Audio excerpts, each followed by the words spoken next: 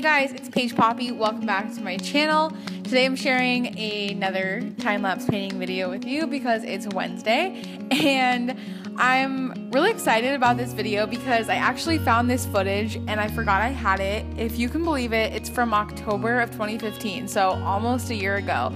And I like have almost forgot about making this painting and watching this footage I know exactly where the original is in my studio. I have it in the portfolio but I totally forgot I made it. So I'm really glad that I found the footage and can share it with you um, you know later down the road and still revisit it and talk about the piece. At the time I called this piece Rainbeye and I did have the original and I also made a couple prints of it but I never like shared a photo of this online or sold the prints or anything.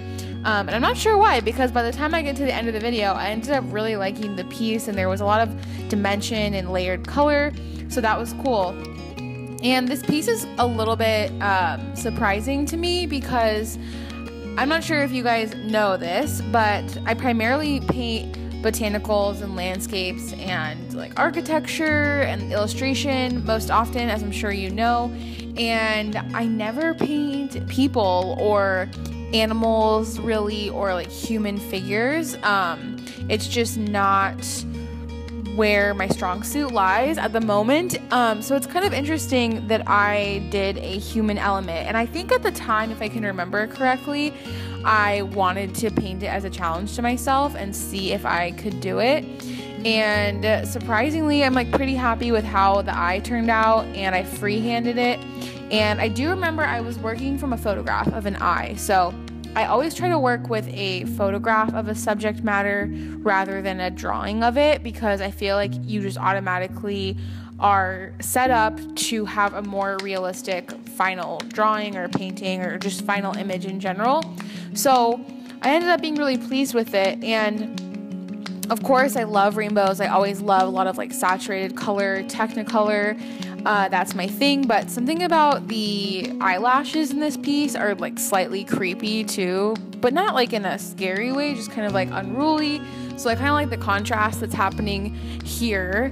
And I was just really happy to stumble upon it. So now that I'm watching this and editing the video, I think I will pull that piece back out and revisit it and maybe take some photos or make some prints. We will see what happens. But um, yeah, this was kind of like a happenstance to find this footage because, as you guys know, I am leaving for San Francisco tomorrow night and I'm going to be gone until Tuesday. And I have just had so much to do the past couple of days because um, my week is shorter, so I'm leaving town, and uh, my work week is cut short. So I have just been like hustling so hard trying to finish up with all my current projects and current clients. Um, so I actually did have some painting footage this week, but it will be included in Friday's vlog. Um, but I just didn't have enough footage to make an entire time lapse. So I was sitting here like 10 o'clock on Wednesday and I was like, oh my God, what am I going to make a video about? So luckily found this baby in the hard drive and was able to share it with you. So I hope you guys enjoyed it and I hope that I haven't been too rambly. It's kind of been a little opportunity to catch up before I head off to San Francisco.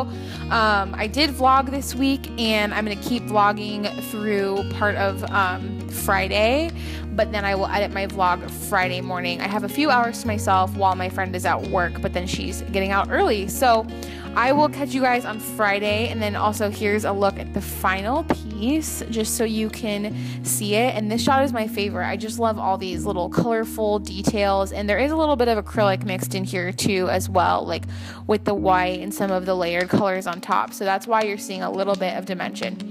Okay, guys, that wraps it up. I will talk to you Friday. Thank you so much for watching. Until my next video, I'm sending all of my positive and creative vibes your way, and I'll see you in the next one. Bye!